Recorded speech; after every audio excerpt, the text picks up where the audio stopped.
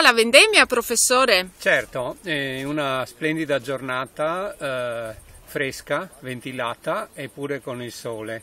Eh, potremmo dire che è una eh, sintesi di quella che è stata questa stagione, che all'inizio ha avuto molte piogge, non ha avuto un grande potenziale di calore e quindi è molto più fresca degli anni precedenti. E l'uva come l'avete trovata? Com'è? Nel complesso è la solita uva del Marcus, quindi mm, veramente... Eh, le persone la mangiano finché la vendemmiano, eh, quindi piena, carica.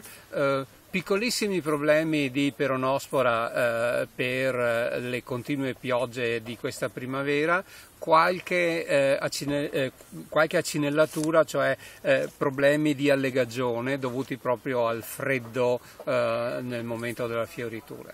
Slow wine, appena detto Marcus, grande vino, è una responsabilità raccoglierla. Eh, beh, è una piacevole responsabilità e, e questo ci eh, con, dire, conforta nel lavoro che abbiamo fatto fino adesso. Sapevamo che eh, facevamo un vino che meritava attenzione e adesso che anche la stampa lo ha visto ci spinge ad andare ancora più avanti e a rendere le cose sempre eh, eh, più eh, curate con sempre maggiore attenzione. Grazie.